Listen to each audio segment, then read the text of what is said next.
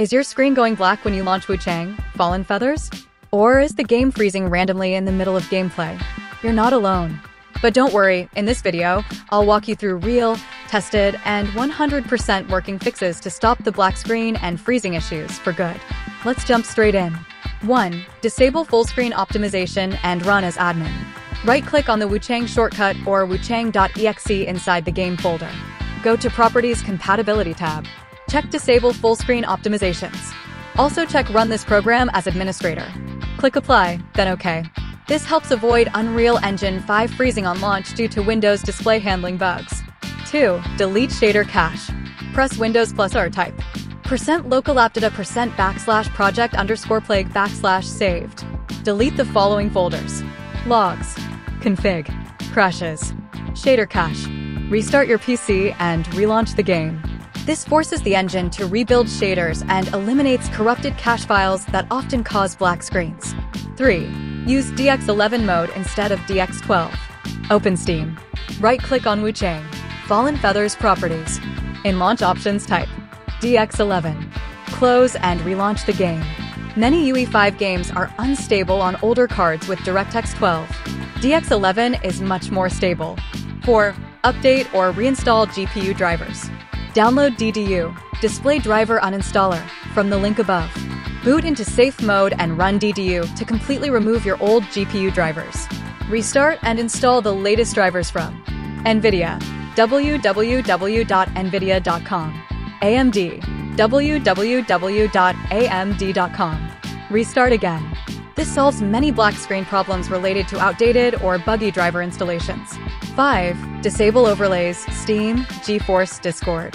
Steam overlay. Steam settings and game disable. Enable Steam overlay. GeForce experience. Open GeForce settings, general disable, and game overlay. Discord overlay. Discord settings game overlay turn off, enable and game overlay. Overlays can conflict with UE5 and cause black screen or freezing. 6. Force dedicated GPU. NVIDIA. Open NVIDIA Control Panel Manage 3D Settings Program Settings add wuchang.exe and set the preferred GPU to high-performance NVIDIA processor. AMD. Open Radeon settings, preferences, switchable graphics, add Wuchang set to high performance. 7. Disable Windows Game Mode and Xbox Game Bar. Go to Settings Gaming Game Mode, turn it off. Go to Xbox Game Bar, turn it off. Restart your system. These features can conflict with certain games and cause freezes or input lag. 8. Verify game files. Open Steam. Right-click on Wuchang Properties installed files. Click on Verify integrity of game files. This repairs any missing or broken files that could be freezing the game at launch. 9. Increase virtual memory. Press Windows plus S type Advanced System Settings open it. Under the Performance section click Settings. Go to Advanced click Change under Virtual Memory. Uncheck Automatically Manage. Set Custom Size. Initial 4096 megabytes.